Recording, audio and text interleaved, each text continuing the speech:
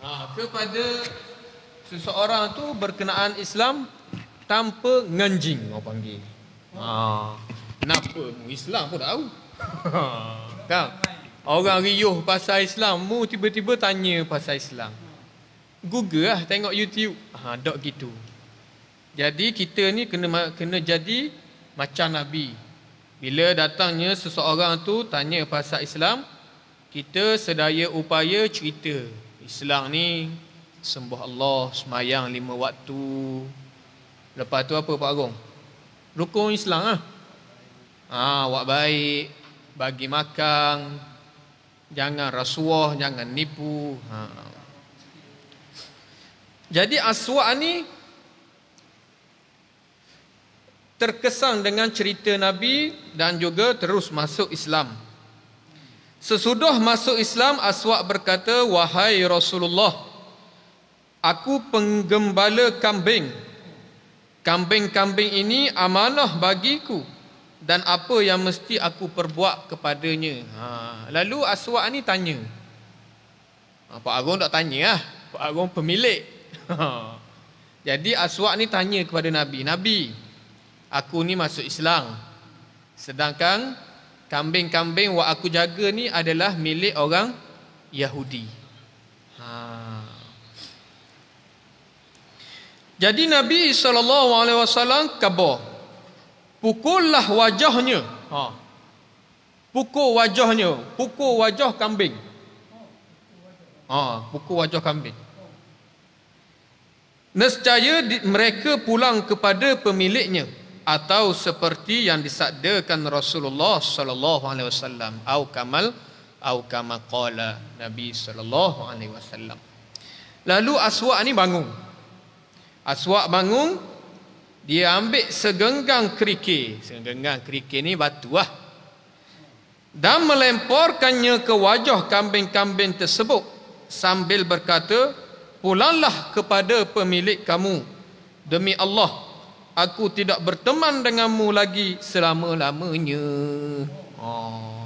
Ambil ni ambil batu kecil-kecil apa? Lepor ke arah kambing sambil mengungkapkan putus hubungan. Ha. Kalau Pak Arung putus hubungan dengan lembu kita ambil lah. je kalau Pak Arung tak ambuh dah. kalau Pak Arung tak ambuh dah lembu, ha, bagi kita lah. Ha. Ajaib. Lalu kambing-kambing tersebut berkumpul dan berjalan seperti ada yang menuntung. Menuntung ni bawa. Hingga memasuki benteng. Ah, kambing ni selagi orang ada ambak ataupun anjing lah biasanya. Anjing yang dilatih ambak kambing, kambing ni tak gerak. Ah, tiba-tiba bila aswak lepor batu kepada kambing tersebut, kambing sekawanan kambing tu tiba-tiba sahaja memasuki benteng orang Yahudi. Macam ada orang bawa, macam ada orang ambak. Padahal tak ada orang ambak. Ha. Setelah itu Aswak Al-Aswak maju bertempur bersama kaum muslimin. Ha, join. Join pasukan tentera. Dia terkena batu dan meninggal dunia kerananya dan belum pernah mengerjakan solat. Oh, tak sedang semayang. Maknanya terus terjun ke dalam medan bertempur lalu syahid disebabkan apa? Disebabkan terkena batu. Oh, kena pelekong di batu. Hmm, mati syahid. Lalu jasad Al-Aswad dibawa ke hadapan Rasulullah sallallahu alaihi wasallam dan ditutup Lalu Rasulullah sallallahu alaihi wasallam melihatnya bersama beberapa orang dari para sahabat. Kemudian Nabi sallallahu alaihi wasallam memalingkan muka baginda. Lalu sahabat pelik. Sebab apa wahai Rasulullah mu memalingkan muka daripadanya? Jawab Rasulullah, sesungguhnya dia sedang bersama dua isteri dari bidadari. Ha, Nabi malu. Ha, sebab Nabi ni boleh nampak apa yang kita tidak nampak. Orang syahid ni boleh masuk syurga terus. Ha dengan syahid. Pak Agung nak mati syahid tak? Ha insya-Allah. Ha kita ni paling kurang kena ada niat nak mati syahid. Ha. Boleh masuk syurga terus, tapi satu sebab tak boleh masuk syurga. Sebab apa? Tak bayar hutang. Ha, ada hutang. Ha, ada hutang walaupun mati syahid tergantung rohnya. Sehinggalah orang yang dia hutang tu redha. Ataupun waris-waris dia lansaikan hutang. Ha. Sebab itulah hutang ni Allah sebut dalam Al-Quran satu muka Ya ayyuhalladzina amanu idza tadayantum bidainin ila ajalin musamman faktubuh. Mana bab hutang ni besar. Kalau kita nak berhutang kena kena tulis ada saksi. Sebab apa? Sebab kita tak ingat. Pak Agung ingat tak Pak Agung berhutang apa ya? Ah tak ada. Kecil-kecil. Kecil-kecil ada. Ha, ada.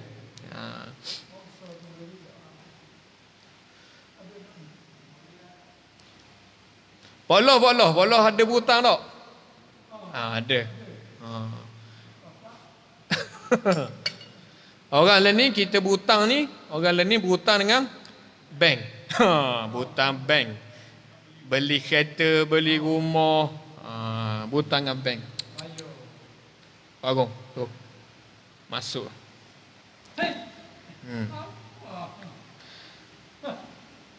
Maknanya aswak ni dok dang semayang mati syahid dan terus dapat ganjaran daripada Allah Subhanahu wa taala iaitulah dia Allah menunjukkan kepada Nabi sallallahu alaihi wasallam dia dilayani oleh dua isterinya iaitu dua bidah bidadari. Ha.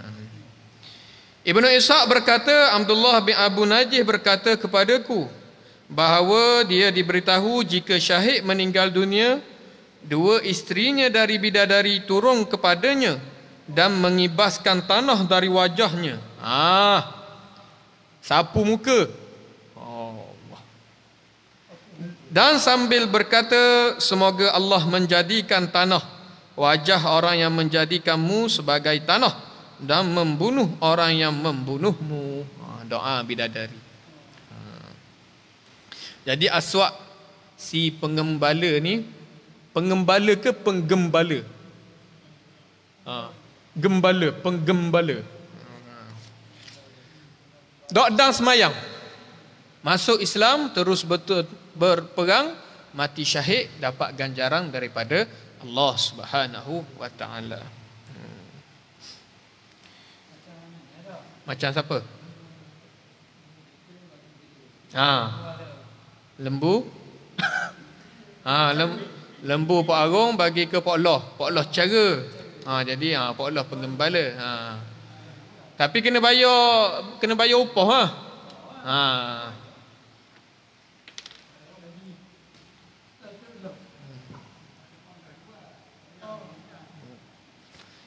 Yang seterusnya cerita berkenaan seorang yang bernama Al-Hajjaj bin Ilas As-Sulami.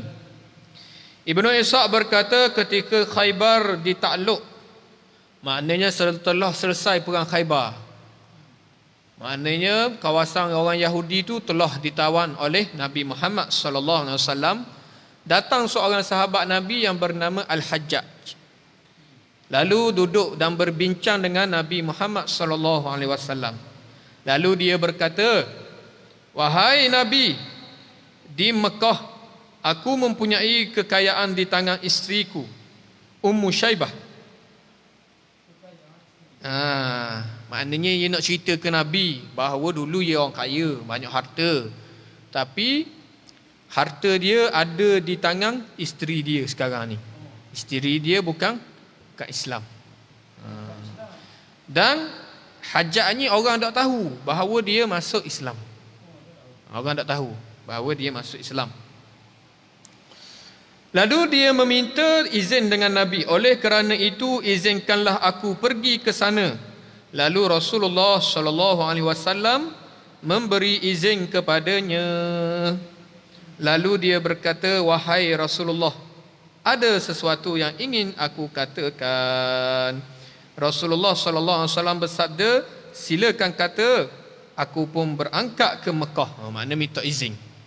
Ha, nak cakap dengan Nabi, nak minta izin dengan Nabi supaya dia dapat balik ke Mekah dan mengambil balik harta-harta yang dia miliki.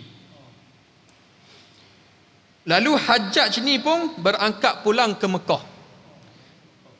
Ketika tiba di Sainatul Baida, aku lihat ramai sekali orang-orang Quraisy mencari maklumat dan menanyakan perihal Rasulullah sallallahu alaihi wasallam kerana orang Quraisy mendengar Nabi berangkat ke Khaybar dan mereka tahu Khaybar ni adalah sebuah kampung di Hijaz.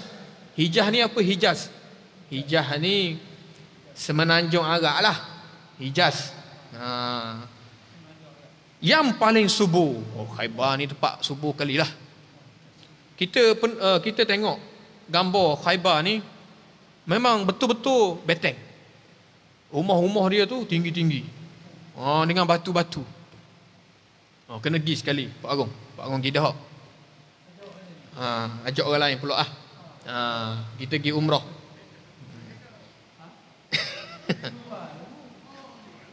ha. Lalu orang-orang Quraisy ini bila dengar Nabi sallallahu alaihi wasallam pergi perang dengan Khaybar, mereka tahu bahawa Khaybar ni adalah salah satu benteng yang hebat. Kukuh. Payah nak tembuh. Jadi orang Quraisy ni cari maklumat. Macam mana informasi sekarang? Macam kita lah. PRU Melaka itu. Kita tengok berita siapa menang, siapa menang. kan? Ke Pak Agong tidur tu? Pak Agong tengok tengok berita ke tidur? Dah tengok? Tengok. Ha. Jadi orang Quraisy ni masa tu gitu lah. Makna tunggu berita. Ha. Dulu tak ada TV 1. Makna tunggu berita daripada pedagang-pedagang yang ha, pedagang-pedagang yang turun daripada Syria yang melalui kawasan-kawasan Khaybar. Lalu bila Quraisy ni tengok Hajjaj lalu dia mereka tanya kepada Hajjaj tentang maklumat pasal Nabi. Hmm. Lalu Hajjaj berkata, aku juga mendengarnya dan aku mempunyai maklumat yang menggembirakan kamu. Ha, ngelak. Mana Hajjaj ni pandai dia buat cerita. Ha, hello dia supaya dia dapat ambil harta dia dengan keadaan paling selamat. Lalu dia cerita kepada orang Quraisy bahawa dia nak menceritakan maklumat yang akan membuatkan orang Quraisy ni suka. Lalu orang Quraisy berkerumun di sekitar unta Hajjaj. Lalu mereka berkata, "Maklumat apa wahai Hajjaj?" Lalu aku berkata, "Muhammad telah kalah dan kamu belum pernah mendengar kekalahan seperti kekalahannya. Sahabat-sahabatnya mati dan kamu belum pernah mendengar pembunuhan seperti itu. Muhammad sendiri kena igat. Ha. Orang-orang Khaybar berkata, kita tidak membunuhnya, namun kita mengirimnya ke Mekah agar orang-orang Mekah sendiri yang membunuhnya sebagai pembalasan terbunuhnya orang-orang mereka. Ha, hajat buat cerita. Kuat tak tu? Ha. Batuk. ha. Lalu Hajat buat cerita bahawa Nabi kena igak. Dan orang Khaybar ni tak boleh lepas Nabi. Nak lepas kepada orang Quraisy. Ha, tapi kena bayar lah. Hajat khabar kena bayar. Kang. Hmm. Lalu orang Quraisy berdiri dan bertempik. Inilah maklumat. Kamu tinggal menunggu Muhammad dibawa kepada kamu, kemudian dia dibunuh di tengah-tengah kamu. Aku berkata, tapi tolonglah aku mengumpulkan hartaku di Mekah dan terhadap para orang yang berhutang denganku. Kerana aku ingin pergi ke Khaybar untuk membeli Muhammad dan sahabat-sahabatnya sebelum didahului para pedagang yang lain. Oh pandai ya. Ha. Dia khabar ke orang Mekah bahawa mu kena tolong aku. Kupuh hutang-hutang aku, kupuh harta-harta aku supaya derah aku pergi balik ke Khaybar beli Muhammad dan sahabat dia mudah untuk kita bunuh mereka. Ha, pandai kan? Ha.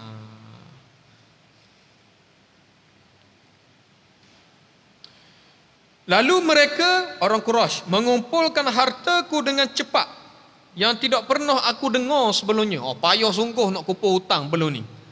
Tapi bila berlaku peristiwa ni derah. Mana orang-orang Quraisy pakak tolong kumpul hutang Hajjaj. Kemudian Hajjaj pergi berjumpa dengan isterinya dan berkata, "Mana hartaku? Aku masih mempunyai harta. Mudah-mudahan aku boleh pergi ke Khaybar dan mendapatkan peluang membeli sebelum didahului para pedagang." Ha. Dengan bini dia pun dia kebau gitu kok. Ha. Ada lagi ke harta wak susuk tu? Ha. Kan? Bini kita pandai tak susuk? Anda susu. Ah, jadi nak pujuk bini ni kena pandai main ya. Ah, Pak Agung kan? Ah. Lalu datanglah Al-Abbas bin Abdul Muttalib, pak saudara Nabi. Ha, dia Islam. Tapi dia ni di antara orang yang berpengaruh. Orang tak berani nak kacau.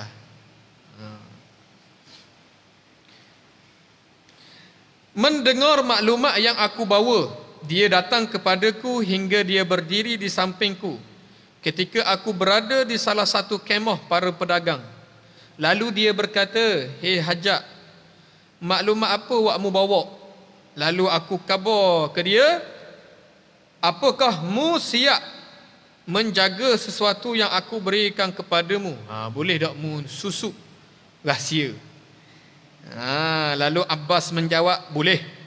Lalu aku berkata kepada Abbas, kalau begitu, pergilah dariku, kita akan bertemu lagi di tempat yang sepi.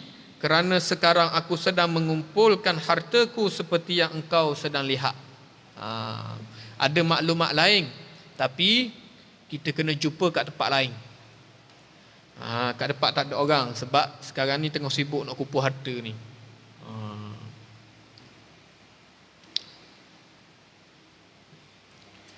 Mana etih ingat tu Bismillah.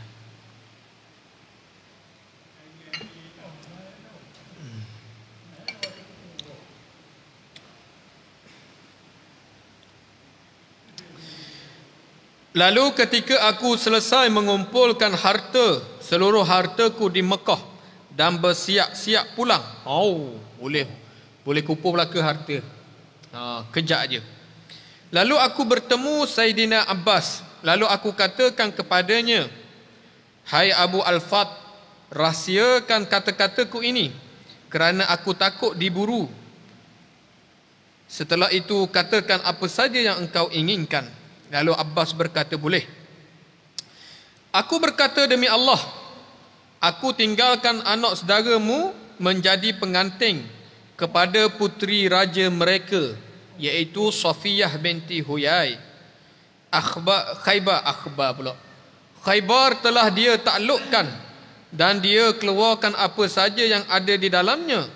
Khaybar telah menjadi miliknya dan milik sahabat-sahabatnya. Ha, cerita bahawa anak saudaramu ni Muhammad telah berjaya menawang Khaybar. Wa orang kata tak boleh tawang. Dan berjaya menjadikan Khaybar milik dia. Ha. Khaybar ni kebun, kebun kema. Oh. Macam kita boleh kebun durian lah. Ha, saya musaking pergi ke apa? Pergi ke Rauk, oh, Rauk. Ha, pergi ke Rauk. Pergi ke Rauk tu maknanya kebun-kebun tu bagi ke kita lah. Ha. Lalu Abbas pun pelik. Ah, bukan Abbas pelik. Lalu Abbas pun merasakan bahawa apa yang engkau katakan hai hajak betul dok mukabbar ni ha mukabbar ke orang kafir lain mukabbar ke aku lain lalu aku katakan kepada Abbas demi Allah rahsiakan diriku. Sesungguhnya aku telah masuk Islam. Aku datang ke sini untuk mengambil hartaku kerana aku takut harta tersebut direbut dariku. Maknanya kalau aku khabar aku Islam ni Awak ni tak bagi dah harta ni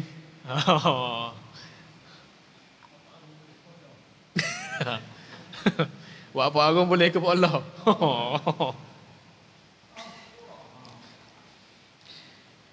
Tapi Hajat khabar ke Abah Tapi boleh cerita Jika telah berlalu tiga hari Lepas tiga hari mu boleh cerita. Umumkan cerita pasal diriku kerana itu demi Allah sesuai dengan apa yang engkau inginkan. Dan pada hari yang ketiga Saidina Abbas pakai baju comel, pakai minyak wangi, ha, pegang tokak dan pergi ke Kaabah. Bila tiba di Kaabah, dia tawaf. Lalu ketika orang Quraisy melihatnya, mereka hairang. Oh. Pakar comel minyak wangi siap. Tak rasa sedih. Padahal anak saudara yang dia sayang orang kabar telah kena ikat. Ha, tak sedih ke? Lalu orang Quraisy pun tanya, "Hei Abu Al-Fat, demi Allah orang ini sabar atas musibah yang berat." Lalu Saidina Abbas berkata, "Tidak. Demi Allah yang kamu bersumpah dengannya Sungguh Muhammad telah menaklukkan Khaybar Menjadi pengantin dengan puteri raja mereka Dan mengeluarkan apa saja yang ada di dalamnya Kemudian menjadi miliknya dan sahabat-sahabatnya Uish hebat sungguh kata oh. Muhammad awak lari daripada kita tu boleh tahu bang Khaybar kota yang hebat tu ha, sebab kita kena percaya kepada Islam yang dibawa oleh Nabi Muhammad sallallahu alaihi wasallam. Siapa buat bawa maklumat ni? Lalu Abbas menjawab, maklumat ni dibawa oleh orang yang telah datang kepada kamu dengan maklumat yang sama. Dia masuk ke tempat kamu dalam keadaan muslim, mengambil hartanya, lalu pergi bergabung dengan Muhammad dan sahabat-sahabatnya. Oh, kena tipu demo. ah, kena tipu dah tak sekarang. Oh. Sekarang orang tersebut bersama Nabi. Dia, mereka berkata, "Hai hamba-hamba Allah, dia melepaskan diri demi Allah. Kalau kita tahu pasal benda ni, Pasti kita buat perhitungan dengan dia. Mana dak harta. Kalau tahu cerita sebenar kata dak wi dah harta ni. Lalu mereka tidak beri, tidak melakukan apa-apa kepada Saidina Abbas yang datang kepada mereka membawa maklumat tersebut ha, sebab tak berani nak kaca Saidina Abbas seorang yang uh, terpengar, dia peng, uh, seorang yang ada pengaruh ha, walaupun mereka tahu bahawa Saidina Abbas ni Islam Ha.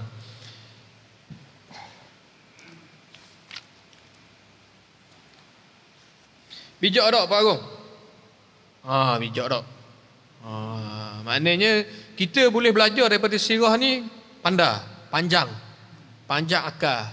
Ha, macam mana kita nak kupu harta, nak ambil hak milik kita, tapi kita buat helah dengan orang kafir. Ha, kita buat helah dengan kafir. Jangan kita buat helah dengan orang Islam pula. dengan orang Islam kita kena bincang molek ah. Neh, ha, dengan orang Islam kena bincang molek. Ha. Bagi harta ni memang payah. Memang balah tapi kena balah ah. Ha, baru sesah. tapi jangan wibalah ah. Maknanya kita bincang molek-molek insya-Allah semoga kita dapat cari jalan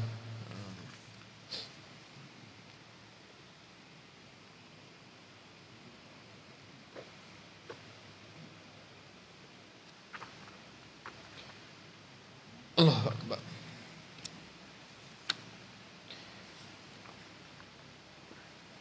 Oh. Oh. Allah Akbar.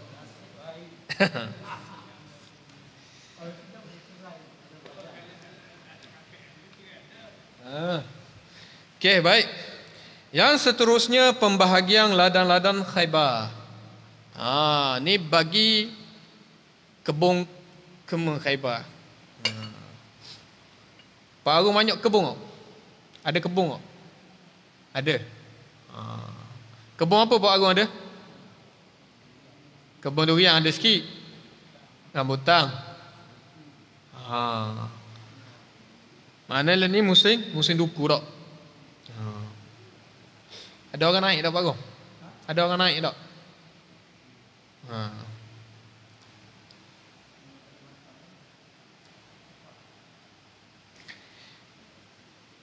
Harta rampasan perang Khaybar. Ibnu Ishaq berkata harta yang dirampas di Khaybar dibahagi-bahagikan iaitu asyiq, nasah dan al-khatibah Asyik dan An-Nasah dibahagi kepada kaum muslimin kerana bahagian mereka. Sedang Al-Katibah seperlimanya untuk Allah, Rasulullah sallallahu alaihi wasallam, sanak keluarga baginda, anak-anak yatim, orang-orang miskin, makanan para isteri baginda dan makanan untuk orang yang berjalan antara baginda dengan penduduk Fadak dengan membawa kedamaian.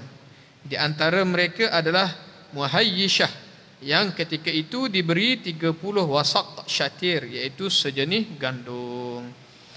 30 wasak kurma Khaybar dibahagikan kepada para sahabat yang menghadiri perdamaian Al-Hudaybiyah. Para sahabat yang menghadiri perang Khaybar. Ha. jadi ada tiga ladang. Tiga ladang yang besar dibahagikan kepada kaum muslimin. Yang pertama asyik yang kedua nasah. Jadi dua ni dibahagikan kepada kaum muslimin. Al-Katibah dibahagikan kepada Nabi sallallahu alaihi wasallam. Sebab satu per lima. Ha, dibagi kepada Nabi dan juga untuk orang-orang miskin. Ha, jadi Baitul Mal. Sebelum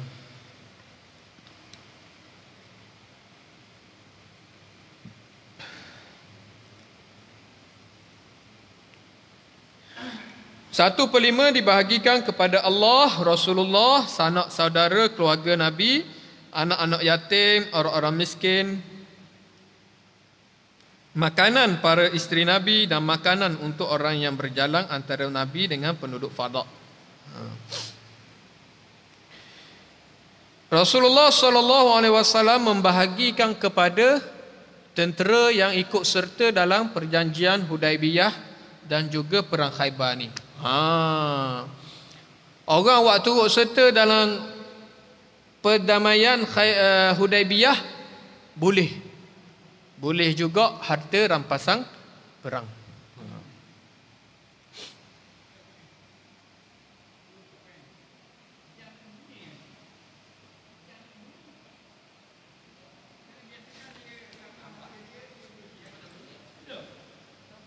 Bang dah dah. Okey. Wallahu alam.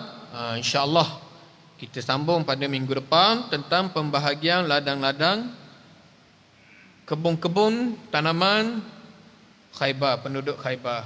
Uh. Masa ni lah orang-orang Islam boleh napah lah sikit. Uh, senang lah sikit. Uh, boleh harta kan.